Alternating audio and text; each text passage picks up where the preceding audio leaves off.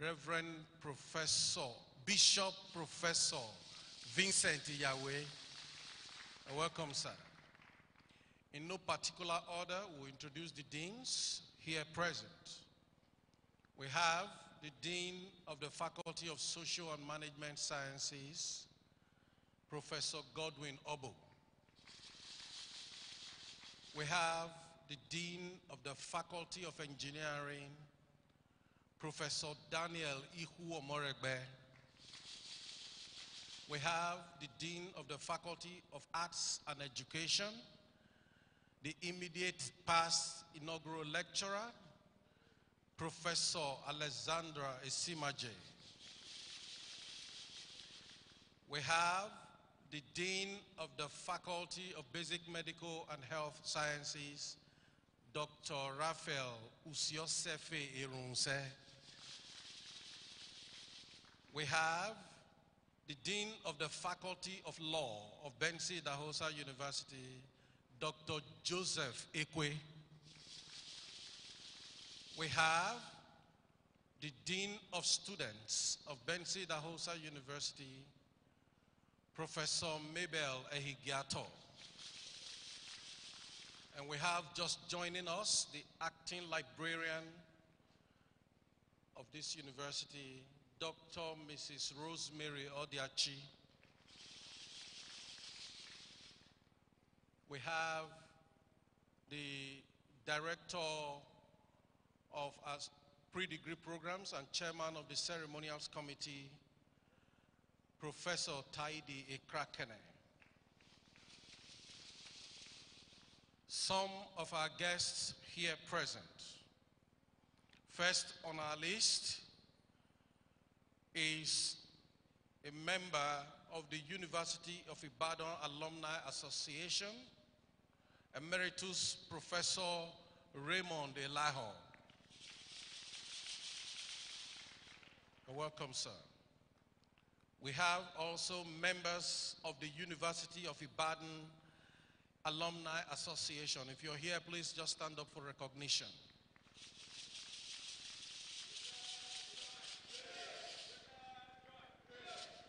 Thank you very much.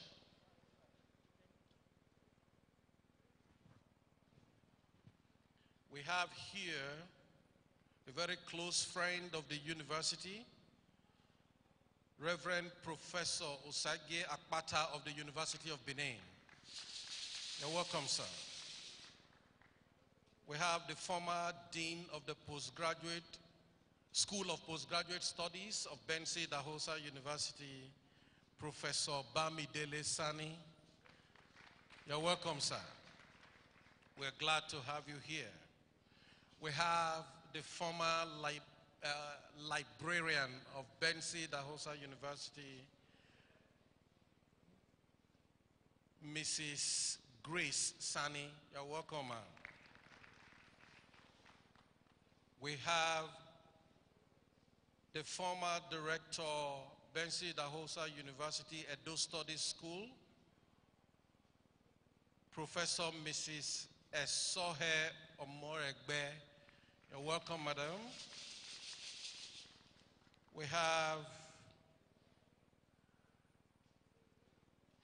here in our midst the former Vice Chancellor of the University of Benin and Emeritus Professor of Benson Idahosa University, Professor Awulime Anao. You're welcome, sir. We have here architect Patrick Uwa Igbinoba. You're welcome, sir. We also have a distinguished professor from the University of Benin, who is a very close friend and associate of Benson Idahosa University, Professor Edi Iragbe. You're welcome, sir. Thank you, sir. We also have the former Dean of the Faculty of Engineering of Benson Idahosa University, Professor Frederick Edeko. You're welcome, sir. Thank you for being here, sir. We have the retired president of Edo State Customary Court of Appeal, Honorable Justice Peter Isibo. You are welcome, sir. Thank you for being here. We also have former acting registrar of Benson Idahosa University, Barrister Mrs. Eunice Unwokike. You are welcome, ma'am. We also have the Iyase of Benin Kingdom, Chief Sam Igbe. You're welcome, sir. Obukia, sir. We are glad to have you here.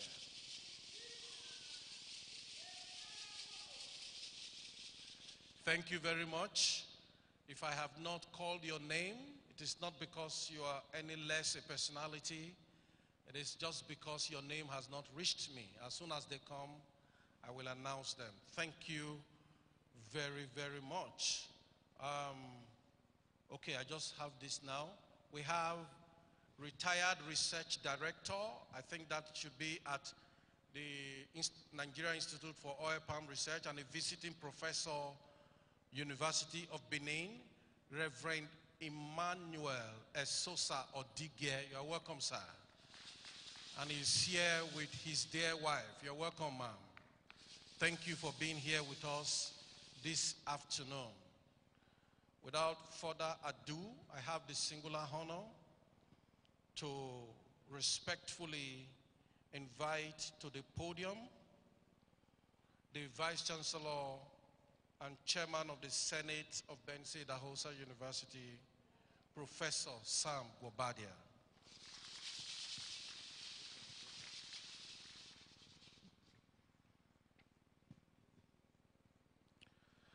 The President, Benson Idahosa University. Vice Chancellor, past and present, here present the Deputy Vice Chancellor, Principal Officers of the University, Provost, Deans, and Directors, our inaugural lecturer uh, for today, all previous inaugural lecturers here present,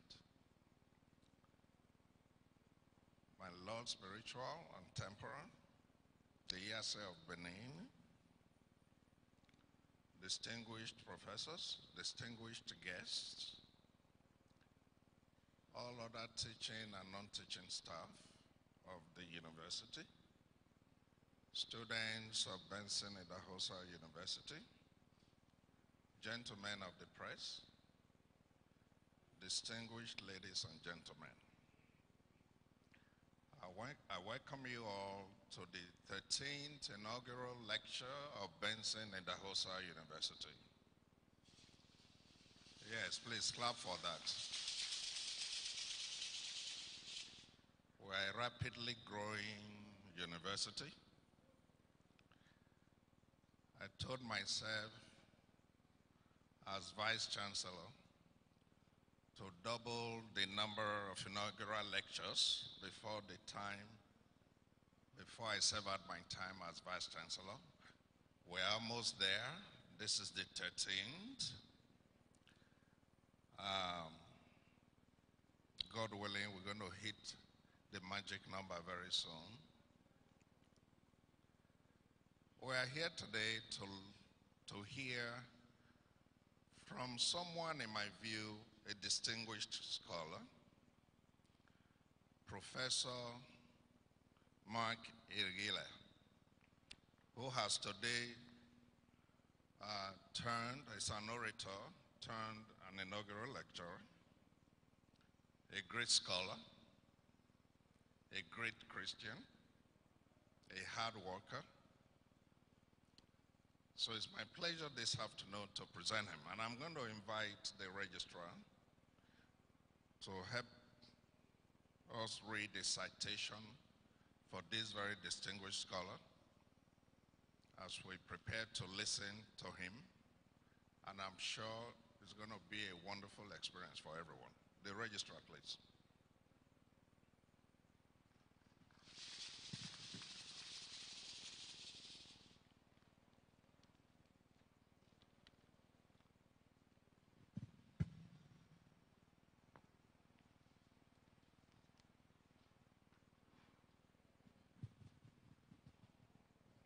Ladies and gentlemen. The topic of the inaugural lecture today is the poet prophetic voice in the wilderness of our time, an oral, literary, and biblical prognosis to be presented by Professor Mark Osamagbe Ighile, BA Ibadan, MA Ibadan, PhD Ibadan, Professor of African Oral and Biblical Literature. I have the singular honor to now request the inaugural lecture to kindly rise and step forward as I read his citation. Professor Mark Osamagbe Ighile was born on the 13th day of July 1968 in Benin City, Edo State, to the family of late Mr. Damian Ayowe Ighile of Orio Ozolwa in Nwode local government area, Edo State, and late Mrs. Catherine Maria Ighile ni Inadege of Igun Oromo in Oredo local government area, Edo State. He attended Siloko Primary School, Siloko, from 1975 to 1979, and went to Igwoba Zua Grammar School, now Edo National College, for his secondary education, which he successfully completed. Having cleared his papers at a sitting in the West African Examination Council, he proceeded to Edo College, Benin City, for his higher school certificate from 1985 to 1987. He got admission to read English in the Department of English Faculty of Arts, University of Ibadan in 1991. He emerged as the best graduating student in literature. Upon the completion of his youth service in 1992, he went back to the University of Ibadan for his master's degree. And in the 1994-1995 academic session, he graduated again top in the class in the literature category with a departmental commendation on his dissertation entitled The Song and Poetry of Egogo, the blind minstrel of Benin. Meanwhile, as a master's degree student, he secured a job with Sketch Press Limited, Ibadan, as a features writer and rose through the ranks to become the features editor and member editorial board of the organization before he resigned in 2000. In December 2001, Professor Mark Ighile was ordained the pastor in Living Spring Chapel, Ibadan, and he became a full-time pastor in the ministry, serving as national pastor, training and manpower development. Part of the schedule of his office was the coordination of the Bible School, organization of leadership summit for ministers and leaders, including ordination procedures, and replication of the Bible College and leadership training centers in the different branches of the ministry across the country. He was Dean of the Bible School, Christ International College of Ministries, for 10 years. That is from 1996 to 2006. On August the 1st, 20, 2006, he took up an academic appointment in the Department of English, Redeemers University, and rose to the position of senior lecturer in the 2013-2014 academic session. Meanwhile, in July 2010, while still at Redeemers University, Professor Mark Ighile attended a conference on indigenous knowledge in the age of globalization in Nairobi, Kenya. It was organized by the International Society for Oral Literatures in Africa, where he delivered a paper entitled Beneath Folklore in the Eyes of the World. At the end of that conference, Professor G.G. Darah who was also in attendance, suggested the need for a Nigerian version of ISOLA. I take that again. At the end of the conference, Professor Gigi Darah, who was also in attendance, suggested the need for a Nigerian version of ISOLA.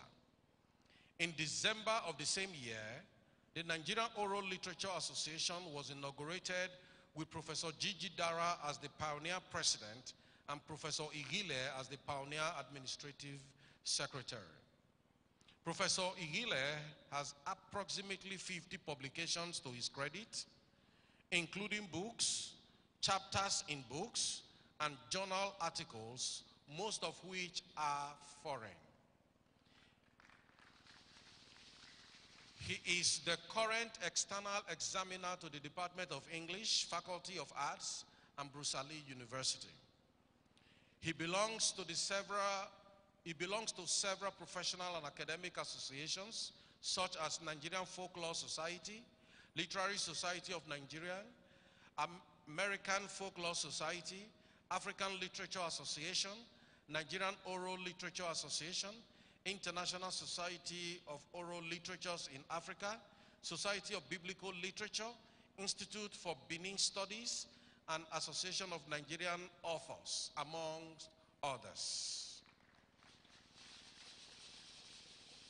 Our inaugural lecture for today resumed at Benson Idahosa University in October 2014 and became a full professor in October 2019.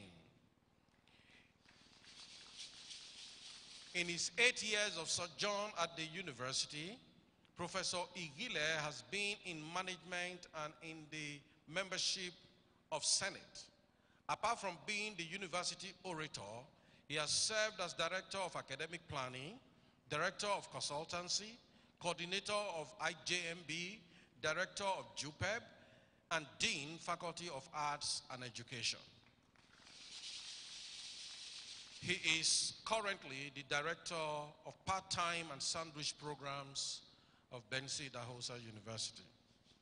Professor Mark Ighile, whose area of specialization and research interest include cultural communication and performance criticism, African and oral literature, folklore and biographical studies, literary, stylistic and criticism, and creative writing and, and Bible as a literary text, is Re Reviews Editor, Umenwe, Journal of Benin Studies, Canada, Deputy Editor, Nigerian Journal of Oral Literatures, Lead Mentor, Mentoring Cubicle, Nigeria, and Vice Chairman, Above Only Press. Ladies and gentlemen, Professor Mark Osamagbe Ighile is gracefully married to Reverend Mrs. Sharon Titilokbe Ighile, who is head of publication at CGMI Global Office, and the marriage is blessed with choicest children, Majesty Efosa, Rennie Reigns, Dunamis Osayati, and Adoration Maria. Vice President, Vice Chancellor, ladies and gentlemen, I present to you this afternoon the 13th inaugural lecture, lecturer of Benson Idahosa University, Professor Mark Osamagbe Ighile. Welcome, sir.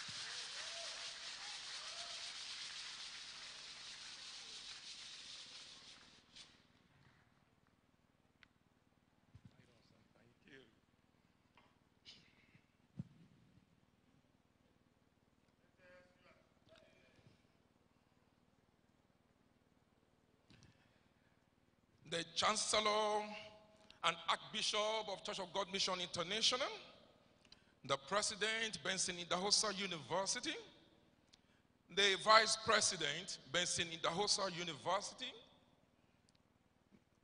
the Pro Chancellor, the Vice Chancellor, the Deputy Vice Chancellor, the Registrar, the Bursar, the university librarian, provost, dean and of faculties and directors, professors, heads of departments and units, members of Senate and congregation, distinguished guests from other universities and establishments, members of the NOLA, members of UIAN, Institute for Benin Studies, Mentoring Cubicle Nigeria, my family members, members of staff of the Faculty of Arts and Education, distinguished students of the Faculty of Arts and Education, all other staff and students of Benson Idahosa University, my Lord, spiritual and temporal, the Iyase of Benin Kingdom, Chief Sam Igbe, members of Church of God Mission International and other churches represented here, Benin Pastors Association, Pastors Wives Association, Empowered Christian Men Fellowship International, Christian Women Fellowship International, Mighty Men of Valor, Gentlemen of the Press, Ladies and Gentlemen. Between, between July 27, 2010, and today, November 8, 2022, there were 12 inaugural lectures delivered by 12 professors of note from this great university. Out of these, two of the lectures were from the Department of English Studies. Today, it is a prophecy fulfilled and a rare privilege for me to join my esteemed colleagues in the department who have performed similar rituals before me to deliver at the departmental level the third inaugural lecture with the title The Poet Prophetic Voice in the Wilderness of Our Time an oral literary and biblical prognosis. For those of you who attach value to numbers, three is used very significantly and symbolically in the Bible to represent the resurrection day, the day of power manifestation, and the performance day of prophecy. Technically speaking, the story of the inaugural lecturer today is not different from that of Jesus Christ. It is my prayer that at the end of this lecture, every prophecy from God for every member of this esteemed audience will find expression in the mighty name of Jesus. Mr. Vice Chancellor, sir, let me begin by saying that the lecturer of today is a product of prophecy, a child of destiny. This inaugural lecture is indeed a fulfillment and a performance of prophecy. I recall that growing up as a child and gradually evolving into the teenage circle, I was always fulfilled, staying in the midst of my seniors and playing with them. I would ask questions and they would gladly respond. They were encouraged by the strength of my poser and the commanding confidence with which I made my points. I can never forget in a hurry the instances when I made my way into the team play sessions of my elder brother, Pastor Sota Osaon Ayowien Ighile, then in the later part of his teenage years. On such occasions, I would make all of them sit. And I will stand and start telling Bible stories. As strong as the narrations were, it was the dramaturgy and the ecstatic embellishment that were the reference points. My oral presentation of the story of the Good Samaritan is so vivid to me. I remember pacing from one side to the other playing different roles of different characters as I will dramatize John chapter 10 from verse 30 to 37 of the Revised Standard Version of the Bible. A man was going down from Jerusalem to Jericho, and he fell among robbers who stripped him and beat him and departed, leaving him half dead. Now, by chance, a priest was going down that road, and when he saw him, he passed by the other way. But a Samaritan, as he journeyed, and I will continue until verse 37, when Jesus said, Go and do likewise. I will stretch my hands to my senior brothers and his friends and tell them, Go and do likewise.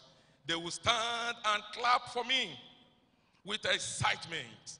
Little did I know, distinguished ladies and gentlemen, that the journey to oral poetics, performance criticism, and biblical literature was about to start. My journey into the field of oral and biblical literature. As an undergraduate of the University of Ibadan in the late 1980s, I was always looking forward to the vacation time when I would see my parents and embark on a few holiday jobs. On one of such journeys, I traveled with my head of department then and lecturer, Professor Isidore Okpewho.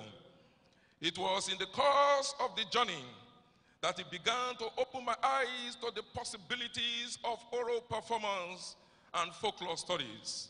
It then drew my attention to the relative depth of Benin oral literature and what value my contributions would make. The three hour ride with Professor Okpewho significantly influenced my research interests and the choice of my long essay topic, which I wrote on the myth and poetry of the Igwe Ehema Festival of Urios Zolwa, Bende State. The Igwe Festival, a major cultural phenomenon among the Edo people, later became the subject and object of some of my academic publications. In the course of my postgraduate studies in Edo, I came in contact with one of the finest historians in Africa, currently in the diaspora, Professor Uyilawa Usuanlele, who, quite impressed with the creative work I did on Igwe Festival, drew my attention to the research reservoir in Egogo Alagebo, a famous blind minstrel in Benin City. For some decades, the man, Egogo Alagebo, played the traditional flute at the popular Airport Road Post Office, Benin City. With the help of my father, Ebaba, Damian, Ayo Weren Ighile, I was able to conduct several interviews with the musician. And in 1994, I came out with an original work that attracted official commendation by the Department of English, University of Ibadan. The dissertation entitled The Song and Poetry of Egogo Alagebo, the blind minstrel of Benin, has since become an intellectual background for an academic journey in oral literary studies. When I returned to the Department of English, University of Ibadan, in the 2005-2006 session to pursue a PhD program, Professor Fashino, a distinguished scholar and a minister of the gospel himself, fascinated by my impressive performance in oral literary studies and pastoring ministry, counseled me on the need to pursue an academic career that would blend with my oral literary background and exposure. And of course, with the ministerial inclination as pastor and teacher of the Bible. He further observed that not much work has been done on the literary stylistic analysis of the Bible and noted that I will make all the difference as a scholar if I explore some folkloric features in the Bible. In encouraging and guiding me into the field of Bible as literature, he took a step further by exposing me and asking me to teach his course in the university.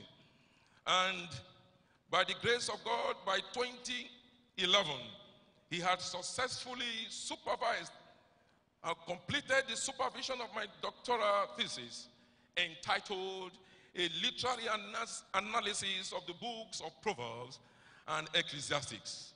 The choice of Proverbs and Ecclesiastes was to further buttress the relationship between oral literary studies and biblical criticism that I am deeply into and rooted in. Between meanwhile, in August 1, 2006, I got a teaching appointment in the Department of English at Dumas University. By 2007 stroke 2008 session, I had already introduced three courses in the area of Bible as literature, namely Introduction to Bible as Literature, Bible as Literature, and then Christian biographical literature. In 2010, I attended two international conferences in Kenya. You know, that focused on oral literature and Bible as literary text. And um, the first conference, which held in Mombasa, was organized by the International Society for Oral Literatures in Africa. Professor G.G. Darah and other scholars were also in attendance. When we returned from the Mombasa conference, we decided to have our own Nigerian version. And between the 6th and the 9th December 2010, we held the inaugural conference of the Nigerian Oral Literature Association with Professor G.G. Darah as the pioneer president and yours sincerely as the pioneer administrative secretary among other executive members. I served in this capacity under the leadership of Professor G.G. Darah for 10 years. In 2013, at Redeemers University, I got two appointments that boosted my scholarly profile in oral literature and Bible as a literary text. The first was my appointment as the pioneer coordinator and later acting head department of Christian religious studies. The second was my appointment as the supervisor of the first two master's degree students in my department. When I was resigning from the Redeemers University in October 2014, I had just completed the supervision of the first two postgraduate students, namely Egbeyemi Ifeoluwa, with a dissertation entitled The Poetry of Pastor Adeboye's Praise Songs, and Eti Mary Emmanuel, who wrote on society and audience in the songs of Oko Akban. The first major assignment that welcomed me to Benson Idahosa University in November 2014 was my active participation in the National Universities Commission Resource Verification exercise for postgraduate programs in my department. With the successful outcome of the NUC accreditation or visitation, we have been producing quality scholars in English and literature. I am grateful to God Almighty for making me strategic to this great move, either as the head of literature you know, unit, or as director of academic planning, or as dean of the Faculty of Arts and Education. This month, we are expecting another resource verification visitation, this time for our PhD programs. Distinguished ladies and gentlemen, I have over the years enjoyed the privilege of mentoring students and younger colleagues in oral literature and biblical literary criticism. Mr. Vice Chancellor, sir, the inaugural lecture of today will be delivered by an expert in the field of oral and biblical literature, having been actively involved in research, teaching, and training in the field for over 16 years consistently.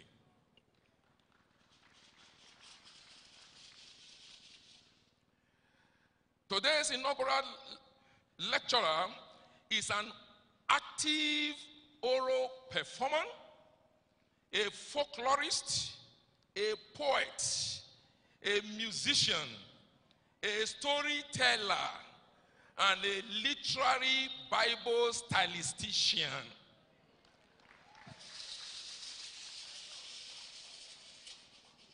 The dynamics of an inaugural lecture. It was Professor Aderemi Raji Oyelade who once asked a set of rhetorical questions in a similar context like this.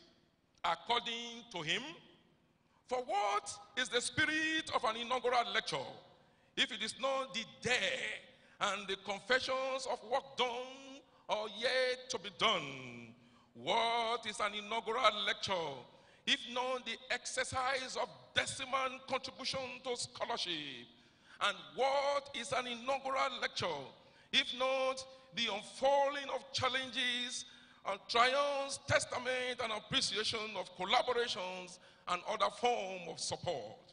Mr. Vice Chancellor, sir, inaugural lectures are nothing but the ceremony of arrival and return. Inaugural lectures are the rise of endings. Only if such endings are seen as the provocative tone of new departures, because each sense of completion is indeed an entry into another beginning.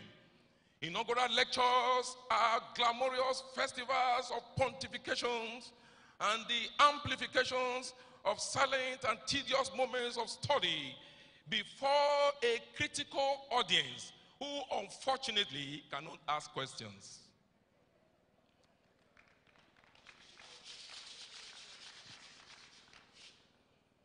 For us at Benson Idahosa University, there is now a structure that is not only predictable but commendable. The roster has been prepared for all professors who are here to present theirs to do so. Mr. Vice Chancellor, I want to thank you for this tradition that you have established. And I am immensely and profoundly grateful for the opportunity given to me to deliver mine today. Thank you a million times, Mr. Vice Chancellor.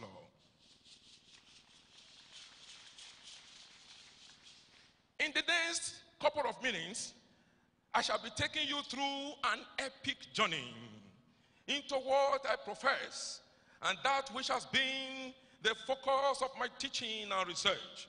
I will be highlighting through songs, poetry, performance, proverbs, and aspects of the Bible, my contribution to scholarship, my area of specialization, which is African literature, oral poetics, and Bible as a literary text for over 16 years.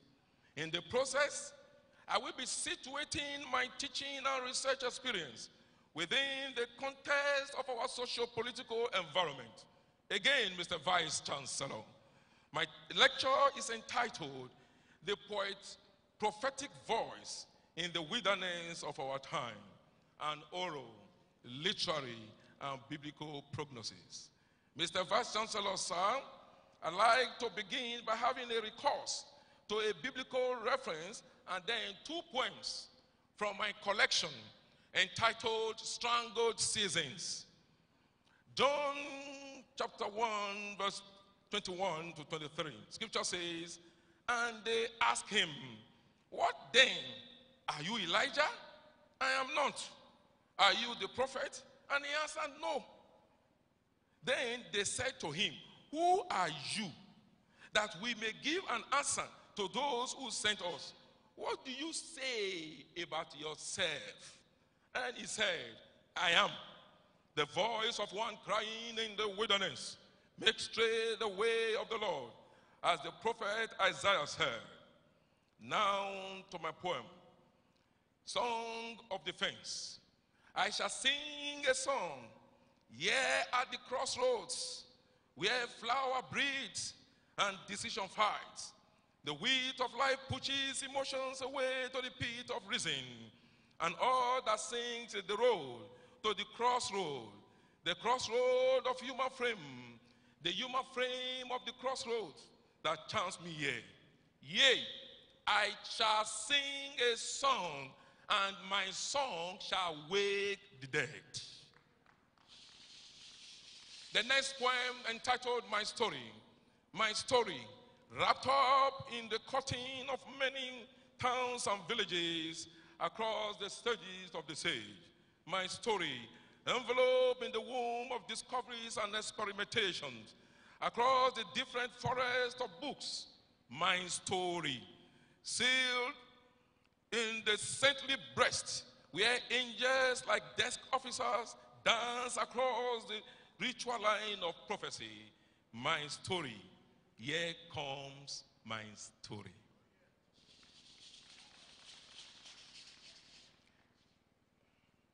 From the scripture, it is clear that I am here to speak about the environment in which I am located. I'm here as a voice equipped not only to establish the truth that we are really in a wilderness of some sort, but also to explore ways of escape and progress. The first poem buttresses the fact that I have been singing in diverse ways from the beginning of my career till now and beyond. The second poem reveals that I am here to tell a story captured in poems, songs, proverbs, and in the saintly breast of the Bible and the church, where prophecy finds full expression in pronouncements and declarations. The potency of poetry. Mr. Vice Chancellor, sir, poetry is conceived in this inaugural lecture within the context of poet of folklore. That is, proverbs, songs, folk tales, chants, incantations, prayers, having no regular rhyme scheme and dealing with the verbal aspects of literature. This kind of poetry, which some scholars refer to as traditional oral poetry, is transmitted primarily by word of mouth and learned by imitation or example. Isidore Okpewho, on his part, and this is quite important, advises that we must abandon the false impressions that poetry must necessarily have to do with words of order in which they are arranged. According to him, a group of measured lines which describe a situation is simply verse and may have very little to, you know, that is poetic in it. On the other hand, it is possible for a combination of music and movement, dance in a performance that has no word at all and is still very poetic due to the sheer force that we feel while observing it. The essence of true poetry lies in the power to appeal to us and strike us. Dear Mr. Vice Chancellor, the poet inaugural lecturer before you is a performer, a raconteur. In the course of my research, I have tried not only to draw the relationship between poetry and songs, poetry and proverbs, but I have also gone ahead to situate the folkloric and biblical resources at the basis of our national transformation. In an earlier research on the poetic and performance value of Igue song text, we have stressed that theater and performance still have a lot to show of their original mysteries, rhythm that are embellished, you know, mysteries, dynamism as reflected in the structure, ceremonies, rhythms that are embellished in conventions and ritual, form, ritual forms. To properly understand Igue songs and their context, I have stressed the need to locate them in actual performance, bearing in mind the ceremonial and ritualistic implications. These songs are not written to be read, but to be chanted openly in an audience. For instance, and I'm sure that our friends will help us at this point, the performance of Ewere songs. From the dawn to the dusk of the particular day, different kinds of songs are performed. I mean, during the Igue festival that we are also about to enter into. For instance, the youths who come with their ceremonial Ewere leaves move from one house to another. As they approach a house, they sing. They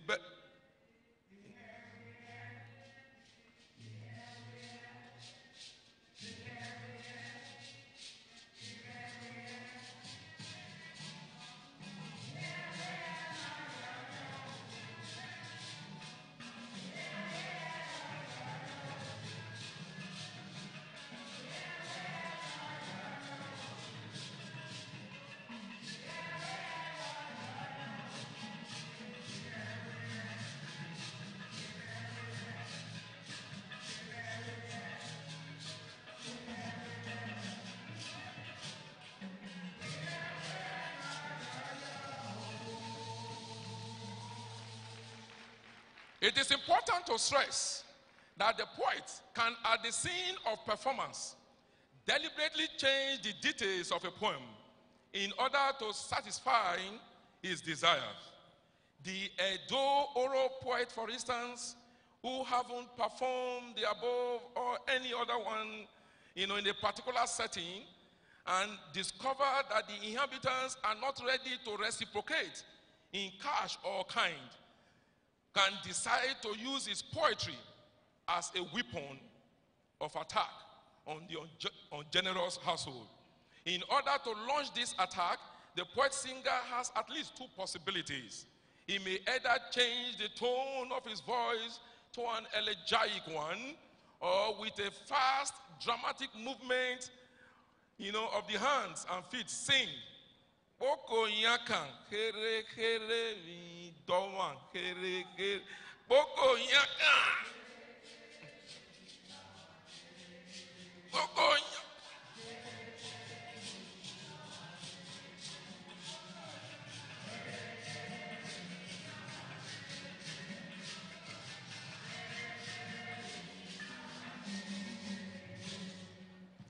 That means the stingy one, that little by little should one be stingy, little by little.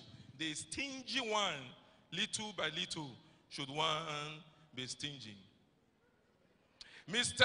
Vice Chancellor, sir, a prophet is a spiritual seer, someone who sees beyond what the five senses cannot even, you know, can produce. I'd like to say that what a prophet can see, others will look at him or her strangely. Mr. Vice Chancellor, the wilderness of our time, an oral, literary, and biblical perspective. Permit me to beam a searchlight on the poem entitled The Casualties. This poem forms a strategic part of one of my publications and is critical to this lecture by foregrounding the historicity of the text and relating it to the configurations of power, society, and ideology in a given time, the lecturer is able to explore, and this is very, very critical, not just the literary and artistic quality of the work, but perhaps more importantly, its prophetic value as it relates to the Civil War period of 6th July 1967 to 15th July 1970 and our contemporary times. Excerpts from the poem, and then we discuss briefly. The casualties are not only those who are dead, they are well out of it. The casualties are not only those who are wounded, though they await burial by installment. The casualties are not only those who have lost person or property, hard as it is to grow for a touch. that some may not know is not there. The casualties are not those led away by night. The cell is a cruel place, sometimes a heaven. The casualties are many and a good number well outside the scene of ravage and wreck. They are the emissaries of rift. So smoke in smoke room, they hunt abroad. They do not see the funeral pies at home, eating up the forest. They are the wandering mistress who, beating on the drum of human heart, draw the world into a dance with rites it does not know. And then on and on. We are all casualties of the war. Mr. Vice Chancellor, sir, distinguished guests, honorable colleagues, and our great students of Benson Idahosa University. What is striking here is not just the contemporary nature of a poem that is over five decades of existence, but perhaps more importantly, the prophetic depth of the creative work. It establishes the fact, part of which I have been making, that the literary person, in this case the poet, beyond being a language expert, is substantially a seer who can project into the future and pontificate accurately. To a very large extent, some of the issues raised by the contending forces in the Nigerian Civil War episode are still finding expressions in the socio-political structure of our country today. Why lives are being cut short by senseless killings, there is still no form of developed system of injecting accountability mechanism, process that will make all states and local government answerable on budgetary matters. Similarly, within the context of JP Clark's casualties and the current tides, it is possible to agree with Dixon that there is no clear blueprint for addressing the developmental issues in Nigeria.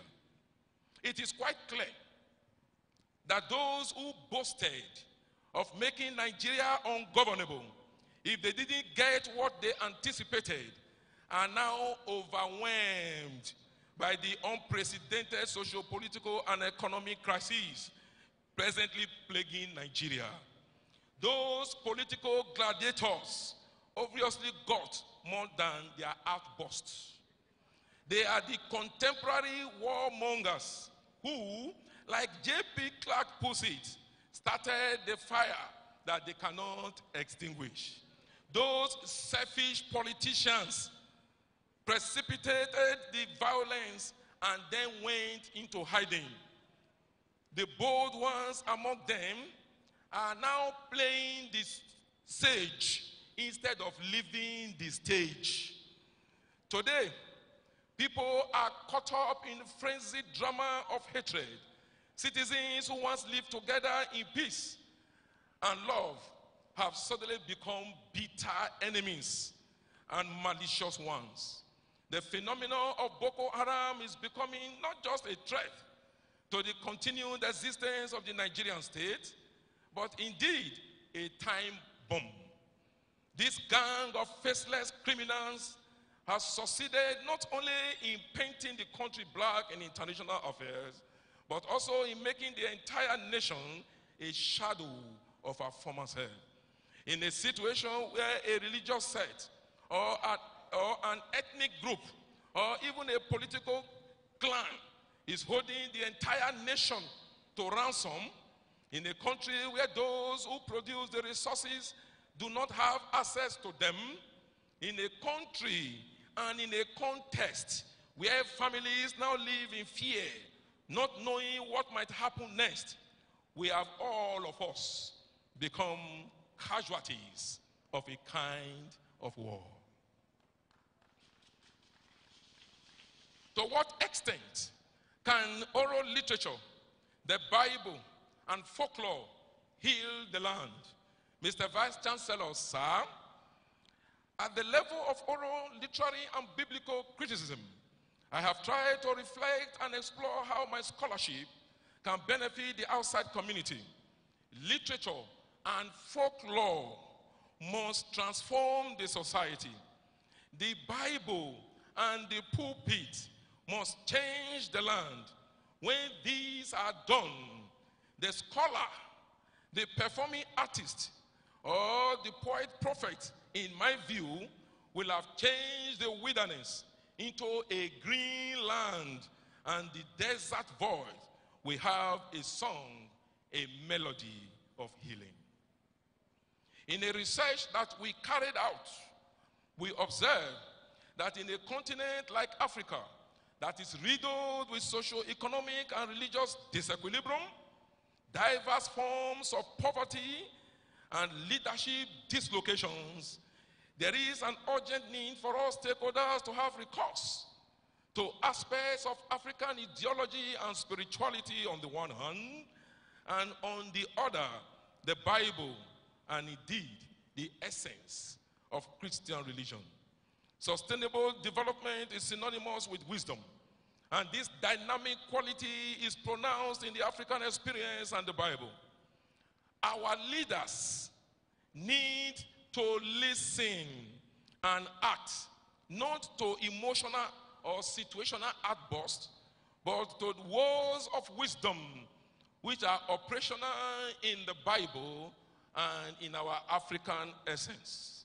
Apart from the research we carried out on women and storytelling tradition, another study was conducted to examine the role of storytelling in the moral upbringing of the Nigerian youth. Being a verbal act used in traditional African society for entertainment and didactism, its usefulness in inculcating in children values and cosmological beliefs of traditional African societies cannot be undermined or underplayed. It was discovered that the moral laxity and permissiveness that characterize today's Nigeria could be traced to the inability of parents to instill moral education in their children and world. One of the major vehicles through which this education could be brought to children or the younger ones is oral narrative. The study submits that the pervasiveness of moral laxity among youths in the country may not be unconnected with the loss of this traditional tool of moral education. Hence, the need for its revitalization.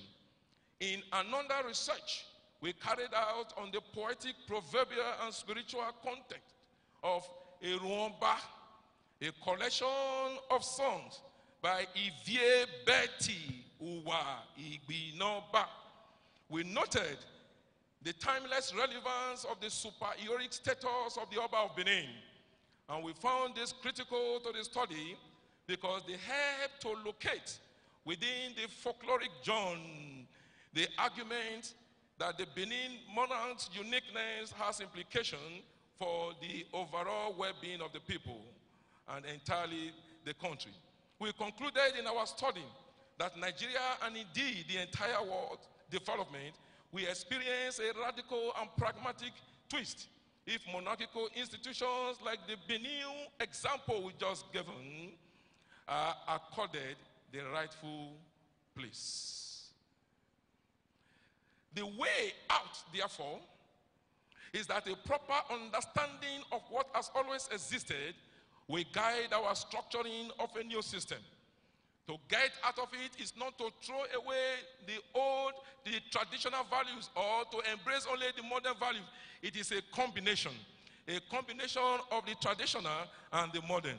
This then point to a realistic union of both the traditional and the modern to ensure the optimal use of both resources for the good and growth of all.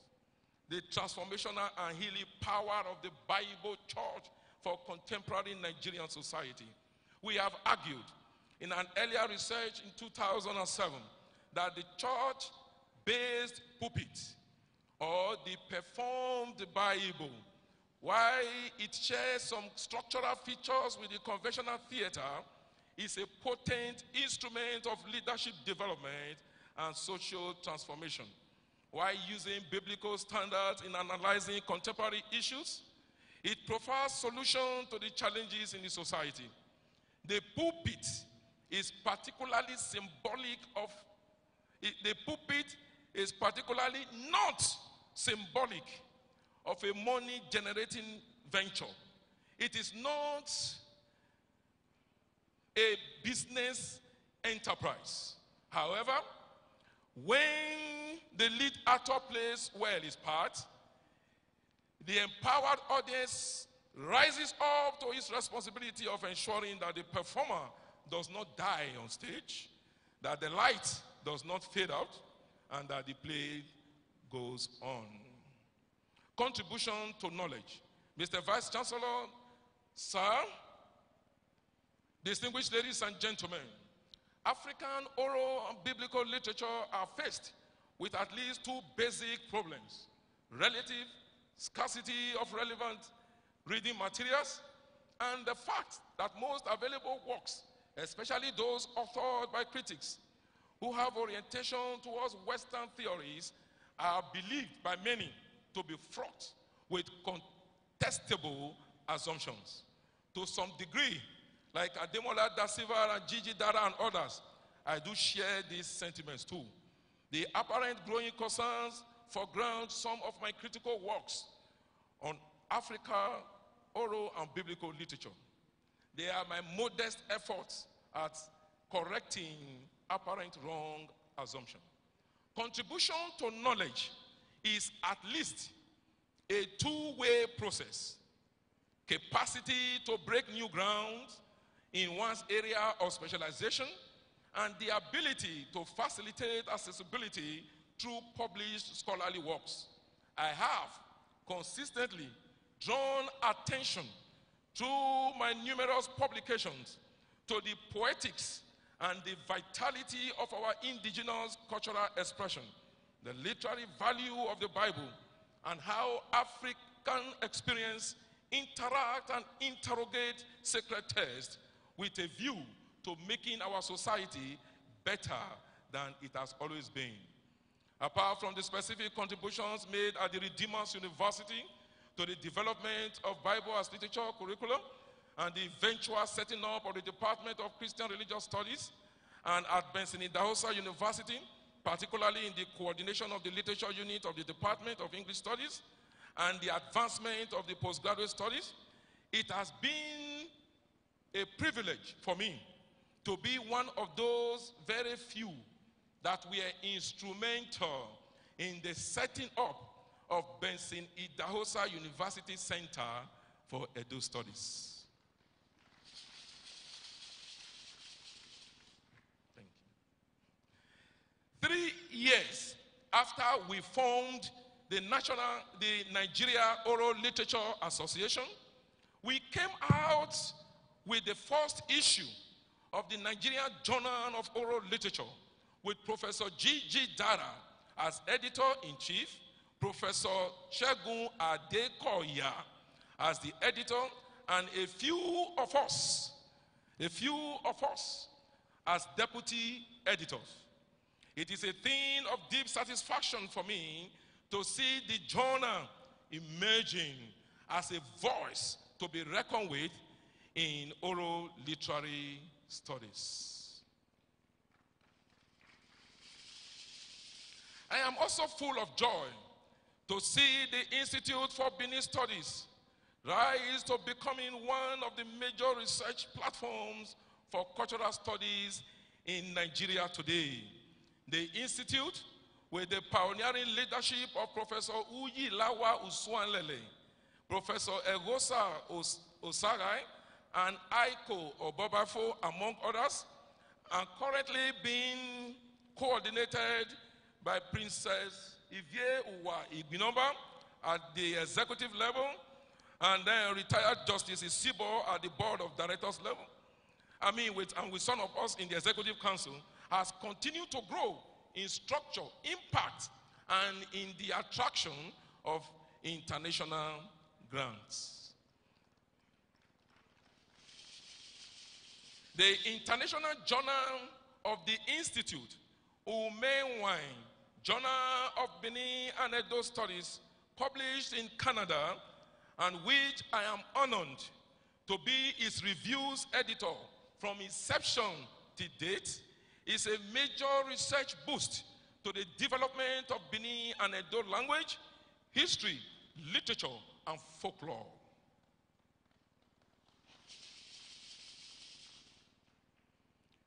Mr. Vice Chancellor, it will not be out of place to make some recommendations in this lecture. From this discussion so far, the following recommendations are presented with a sense of responsibility. There is need for us stakeholders to have a roundtable conference to discuss the present and future of the Nigerian state and the critical place of the minorities. We cannot shy away from the contending issues and expect peace to reign. This perhaps is one of the very few ways to avert a recurrence of the bloody Nigerian civil war. In resuscitating the African oral artistic tradition in contemporary Nigeria, there is need for the traditional rulers and titular heads in their various capacities as custodians of tradition to, as a matter of urgency, encourage the revival of oral narrative in different forms in their different respective domains and communities. The government at both state and local levels should see to the revitalization of the art of storytelling by incorporating oral delivery of traditional tales and stories into the school curriculum. There is need for government and corporate organizations to give adequate recognition to the oral artists in our environment. Such recognition and validation will not only give the necessary impetus for self development, but will also help to strengthen and spread the message of morality which our cultural ambassadors communicate through the medium of folk technology. There is also the need to introduce Christian biographical literature as a general studies course in our universities. Professional storytellers can also be commissioned to go around the schools, especially at the primary level, to narrate important tales to pupils with a view to producing morally strong future leaders that we will all be proud of. There is the need to actively effect a dialogue between the Bible and African ideology, particularly as articulated in its folklore and proverbs. There is the urgent need to revamp, Mr. Vice Chancellor, the theology program at Benson Idahosa University. Theology is one of the cardinal aspects of the founder's vision for this institution. We have realized that of medicine and agriculture. With the ongoing strategic discussions with the All Nations for Christ Bible Institute International on possible partnership and other collaborations being explored, the future looks bright for theological studies in this great citadel of learning.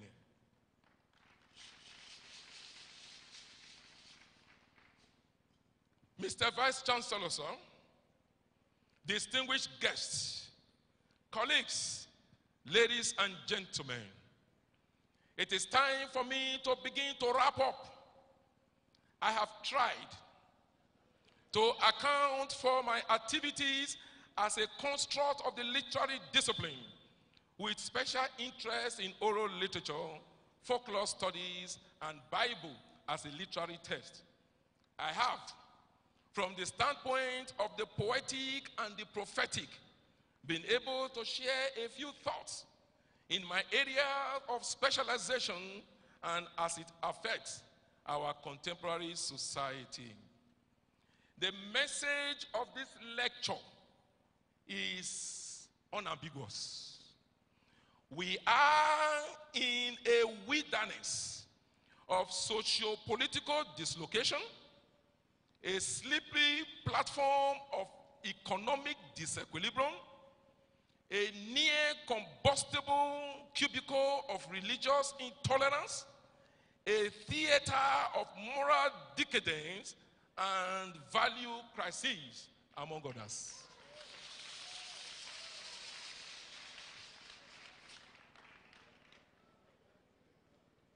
In the midst of this chaotic environment is the poet prophetic voice of hope, the declaration of assurance, and the proclamation of a certain prognosis for the current overwhelming dilemma we have all found ourselves in.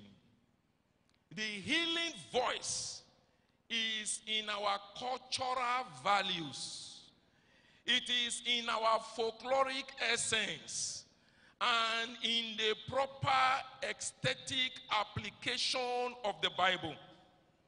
The secret is in the resuscitation and appropriate contextualization of our cultural songs, salutations, monarchical establishments, poems, stories, festivals, and the pragmatic church. As a progressive stride from the institutional link between literature, orality, and the sacred text is the crucial place of African ideology and spirituality. Distinguished ladies and gentlemen, there is a critical sense in which the African traditional institutions and oral narratives and philosophy can be harmonized with the Bible in such a way as to precipitate national and continental transformation. Until this is done, the wilderness season we continue to sing a desert song in a terrain that was once familiar but has now gradually become a strange land. I sincerely thank God for what He has turned me out to be a scholar poet of a prophetic kind, a folklorist with an orientation in biblical criticism, an oral performer with a dimension of pulpit dynamism, a mediator between the cultural ethos of African ideology and theatrics of developmental spirituality, a literary stylistician, and a critic of the multidisciplinary brand, all rolled into one to become, in a very significant sense, one of the priceless creatures that Professor Ayo Banjo, in his 1981 inaugural lecture, pre- predicted for products of the Department of English, University of Ibadan. Thankfully, I am a proud ambassador of the department.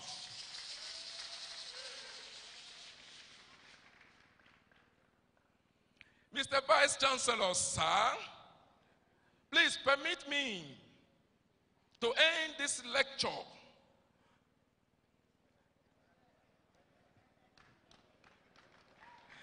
Permit me to end this lecture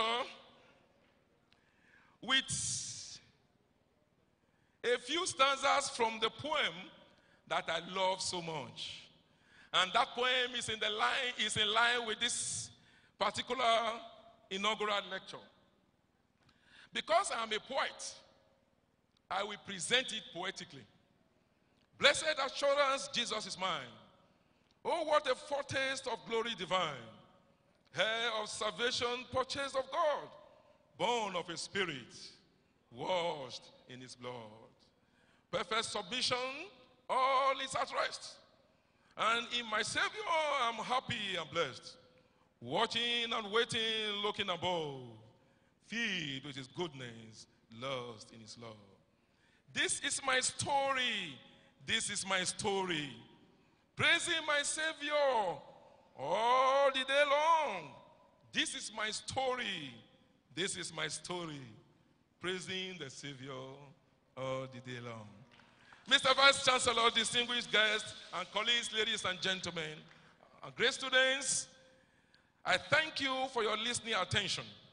My prayer for you is that on the day of your celebration, you will be alive and present in Jesus' precious name. Let me use the next five minutes or so to make a statement on the acknowledgement. Almost all, or most of the guests here, your names are in my inaugural lecture. So eh, I encourage everyone here to obtain a copy of the inaugural lecture. That is why this acknowledgement that would have taken 20 minutes will now take only five minutes. It is my privilege to say a very big thank you to the Chancellor, our mother.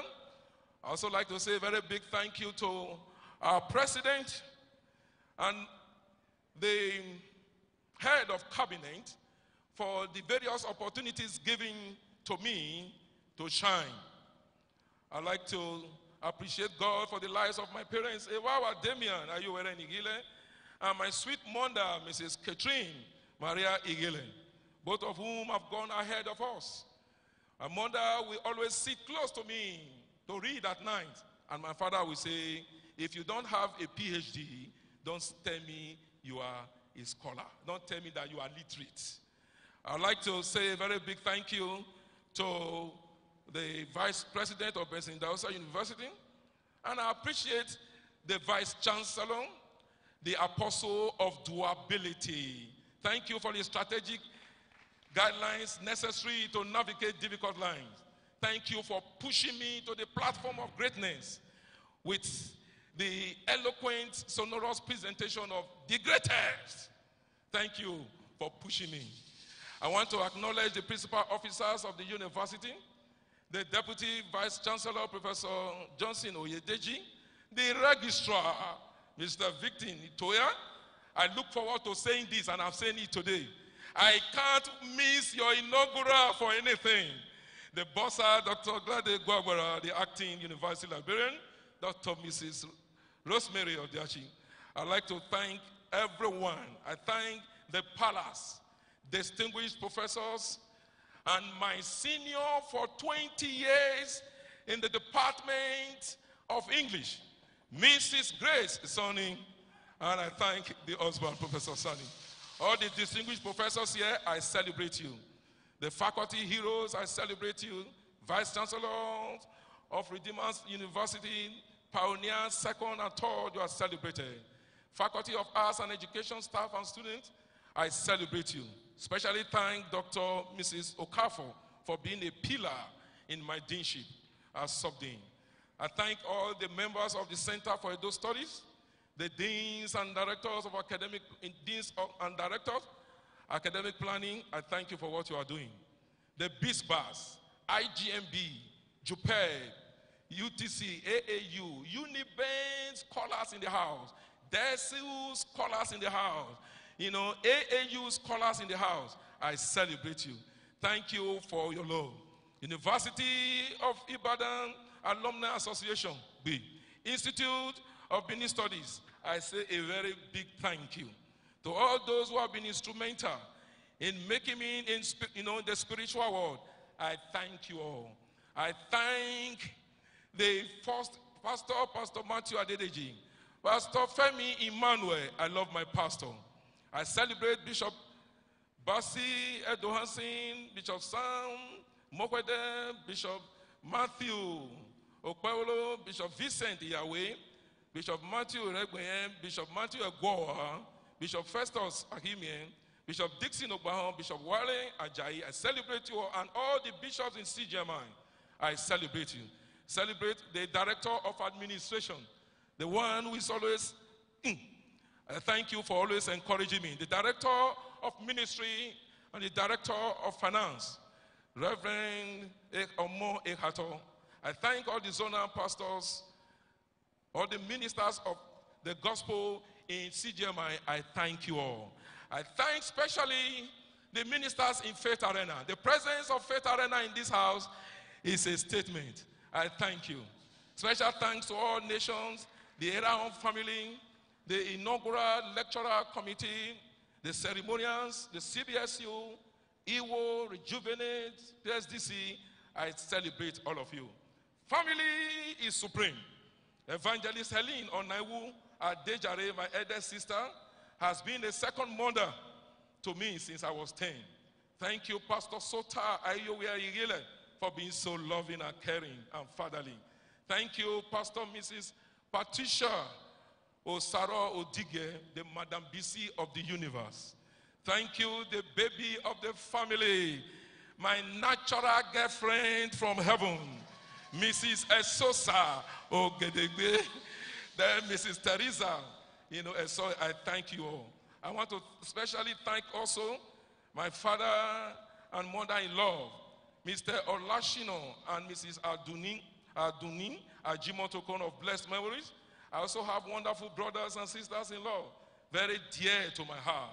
Miss Bisola Ajimotokon, Mr. and Mrs. Olawale Ajimotokon, Miss Idou Ajimotokon, and Pastor and Mrs. Abiodun Ajimotokon. I miss you dearly, Mrs. Kende Temitokbe Aziz, Mrs. Olajumoke Doga, and Uncle Korede Ajimotokon. Thank you, Mrs. Adenike Ajimotokon, for remaining strong. Sharon, baby, it is all about you.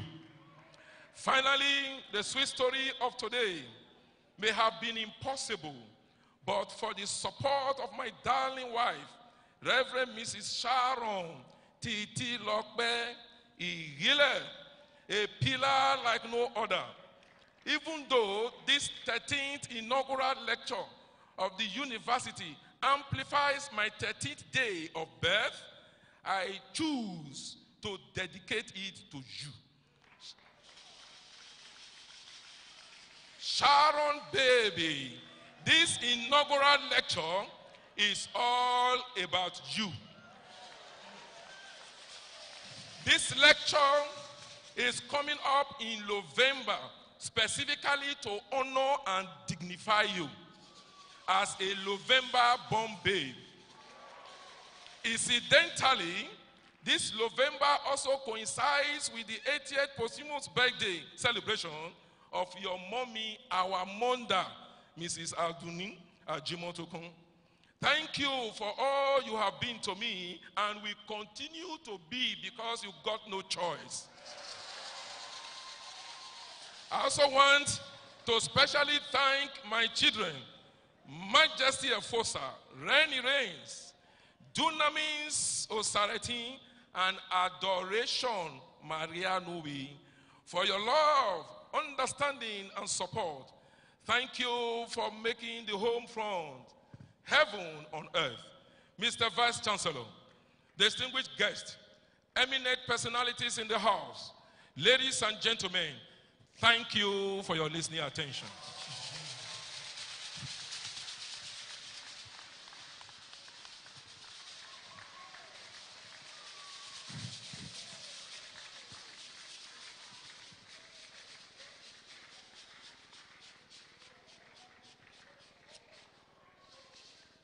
Ladies and gentlemen, a round of applause for the inaugural lecturer.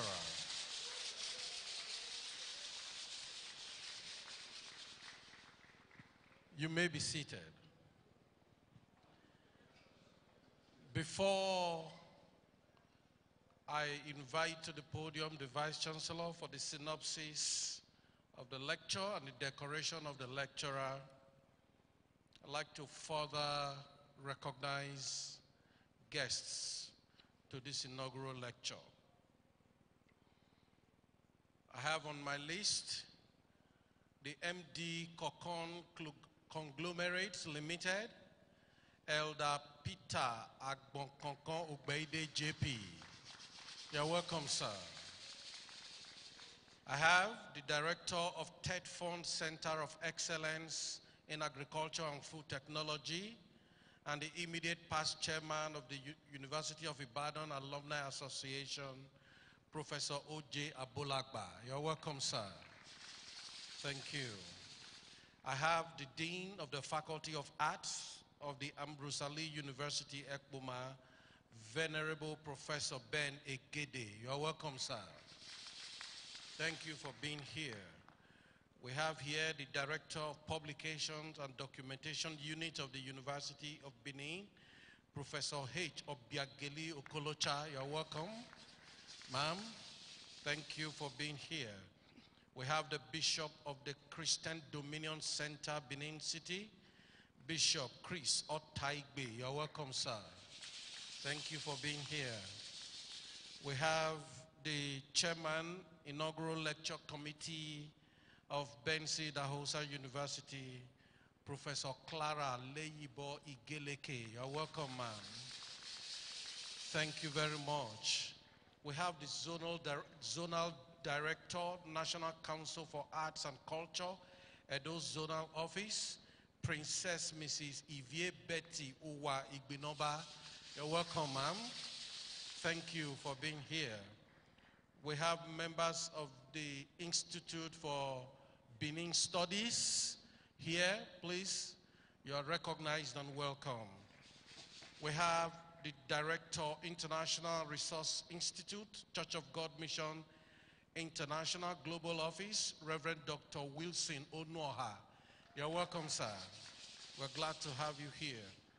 We have the Assistant Director of Administration, Public Relations, Church of God Mission International Global Office, Reverend Alex Idu. You're welcome, sir. We're glad to have you here. We have Reverend Mrs. Mary Aroko, Church of God Mission Faith Arena. You're welcome, ma'am. Thank you for being here. We have the immediate past preacher for our convocation service here at Benson Idahosa University and Bishop of the Mother Bishopric Iyaro of Church of God Mission International, Bishop Matthew Egwowa. You're welcome, sir. We are glad to have you here. We have the zonal coordinator beneath Zone 4. I would assume that's Church of God Mission International, Reverend Dr. Ikoko S.E. Williams. You're welcome, sir. Thank you for being here. We have Pastor Desmond Usazua. You're welcome, sir. Thank you. We have Pastor Abiola Usazua. You're welcome. Thank you for being here. We have the Director of Administration Church of God Mission International, Reverend Tari Ikiyo. You're welcome, sir. Oh, okay. You're welcome, sir. Thank you for being here. We have the Director of Finance, Church of God Mission International. He's here with his wife, Reverend and, and Reverend Mrs. Osayande Ehato. You're welcome, sir. Thank you for being here. Oh, yeah, the wife. Yes. His wife is uh, a distinguished alumna of Benson Idahosa University. Please stand up for recognition. Thank you very much for taking care of the Director of Finance. Help him to manage all the money well, please. We have here Comrade Jonathan Ihonde. You're welcome, sir. We have Professor G. G. Darah from Delta State University. You're welcome, sir. Thank you for being here. We have Professor Alex Roy Omoni from Delta State University. You're welcome, sir. We have from the University of Africa, Toru Orua Ba- Bayelsa, Dr. Perez Omoko. You're welcome, sir. Thank you for being here. We have Comrade Ola Ologun. You're welcome. We have here the wife of the inaugural lecturer. Much has been said about her, but I still have to introduce her. Pastor Mrs. Sharon Titilokbe Ighile. You're welcome, ma'am. And then we have my colleague, the registrar of the Edo State School of Nursing Sciences, Deacon Osayuki Obaseki. You're welcome, sir. Thank you for being here. Ladies and gentlemen, I have the singular honor to now respectfully invite the Vice Chancellor and Chairman of the Senate of Benson Idahosa University, Professor Sam Guobadia. Okay, thank you very much. Sharon Babe, where is she? This is all for her.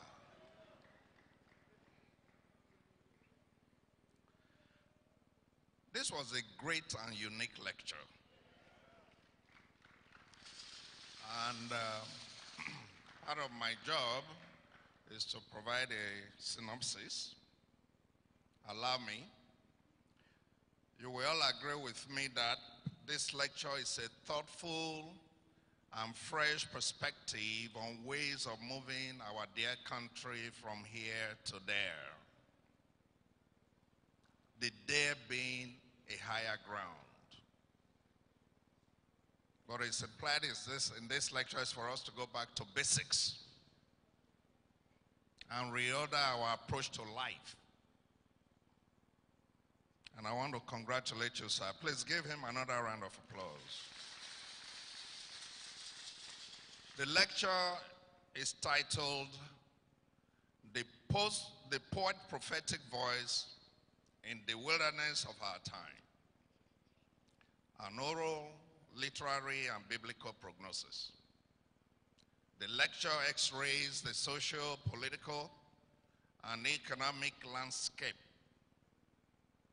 and reality of the nation, indeed the continent, from the lenses of literature, folklore, and biblical studies. While situating the poem entitled The Casualties in our contemporary times. As a basis to establish the prophetic value of the creative writer in general and the poet in particular, the lecturer noted that the various issues that triggered the Nigerian Civil War of the late 60s are still prevalent in our present day social political reality. According to Professor Mark Osama Ighile, Nigeria is a wilderness of social political dislocation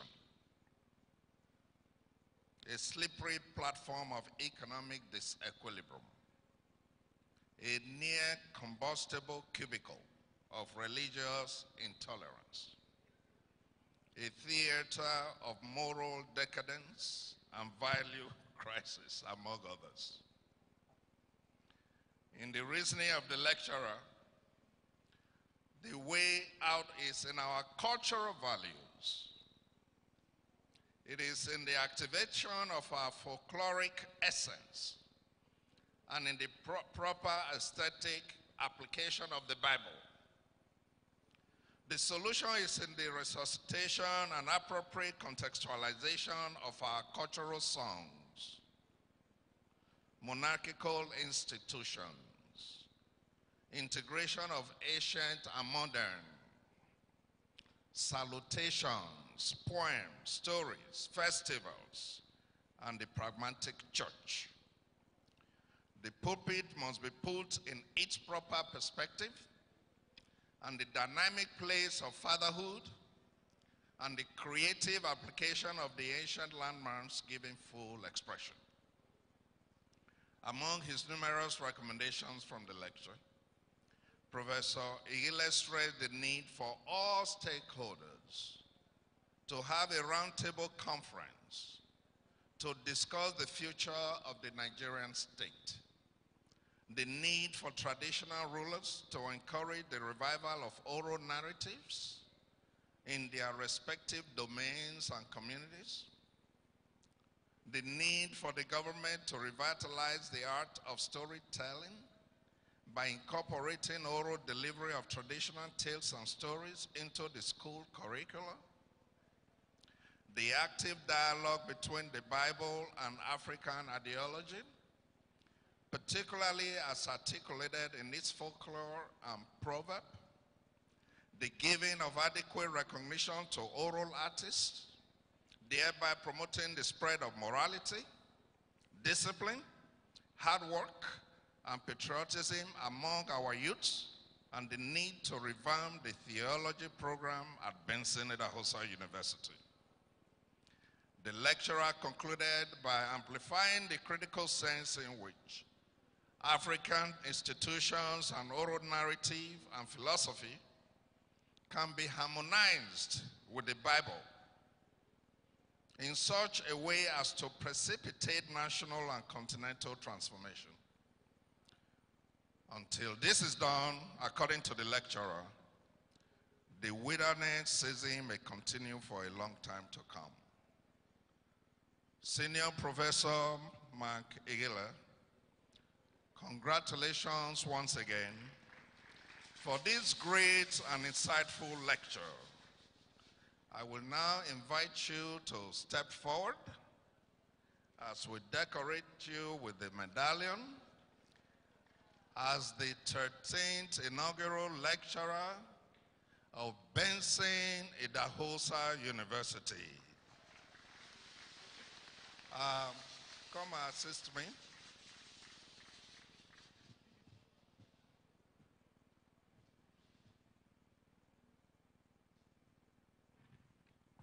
Professor Mark e, uh, Osama. Osama Gbe Igile. On behalf of Benson Idahosa University, it is my pleasure this afternoon to bestow on you this medallion as the 13th inaugural lecturer of Benson Idahosa University and to invite you to the rank of senior professors of this university.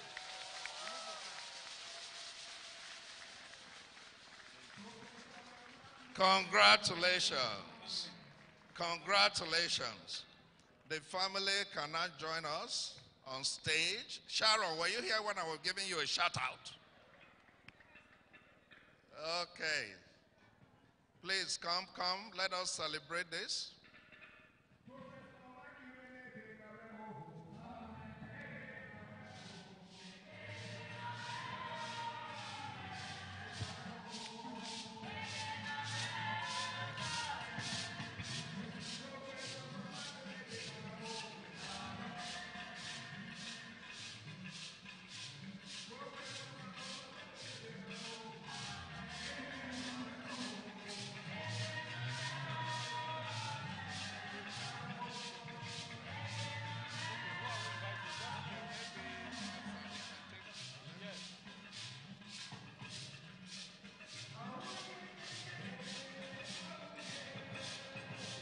You. Thank you very much. The President, Vice Chancellor, Deputy Vice Chancellor, the Bursar, the librarian, please, would you join the inaugural lecturer for photograph? All other photographs will be taken outside. After the procession, Vice Chancellor, join the, the Bursar, please. While the photographs are ongoing, or I'd like to recognize and welcome the president of Pastors' Wives Association, Reverend Mrs. Helen Iyawe. You're welcome, ma'am. Thank you. I'd like to recognize and welcome the assistant pastor to the inaugural lecturer, Reverend Olugbenga Alege. You're welcome, sir. Thank you for being here. Principal officers, led by the Vice Chancellor, on behalf of the President and the Vice Chancellor, I'd like to thank everyone for being here this afternoon and to wish you a safe onward journey back to your respective destinations. And we look forward to seeing you again as we have other university events lined up. Thank you.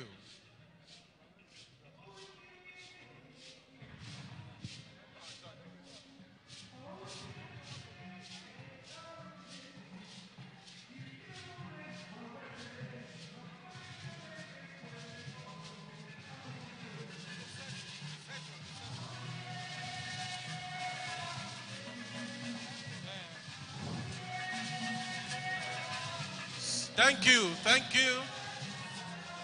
Thank you.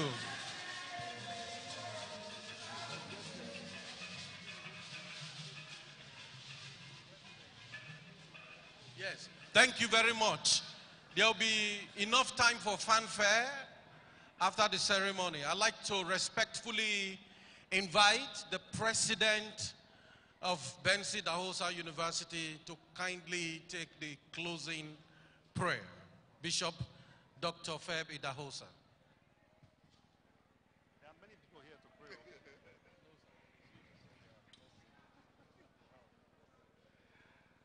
Let me once again say thank you all for being here today. We appreciate you. And may God's blessings go with you in Jesus' name. Amen. Our Father in heaven, we thank you for today's lecture. We thank you for the victory that has been won here today. We thank you for your son and for this mighty, gigantic step into senior professorship. We thank you that, Lord God, grace goes with him and grace surrounds him. As we close today, we ask that you bless all who have come here to celebrate with him and that they also shall receive the grace that has been so bestowed in the name of Jesus. Amen. Please remain, please remain standing as we take the anthems. First with the Benson Idahosa University anthem and then the national anthem. Be I you, the fruit of faith, thy fame spread far and wide. With hearts of joy, we sing of thee. Stand firm in truth and honesty. Gold and white for excellence, academies with godliness, building leaders, all in faith for all endeavors. The future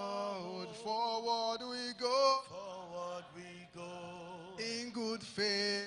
In good faith. God is our help, our God, we shall never fail. Forward we go, Forward we go. in good faith. In good faith. God is our help, our God, we shall never fail. Amen.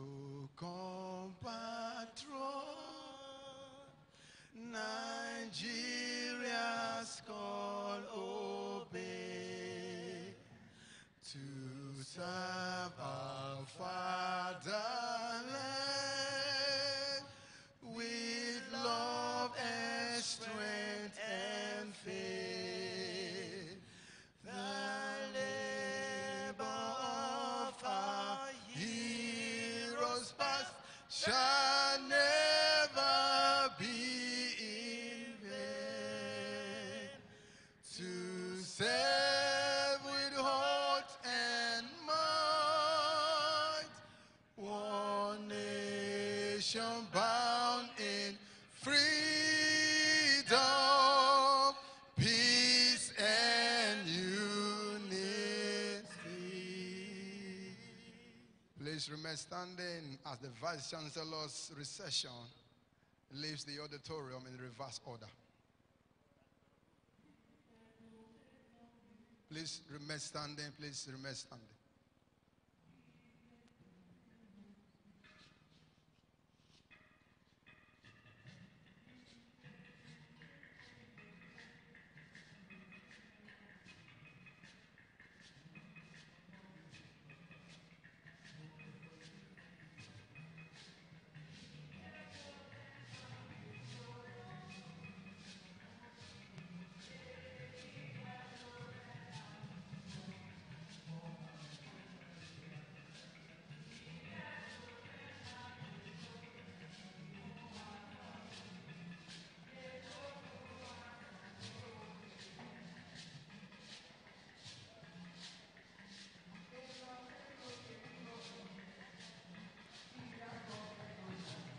Thank you all for being a part of the 13th inaugural lecture of Benson Idahosa University. God bless you richly for coming. Thank you. Thank you.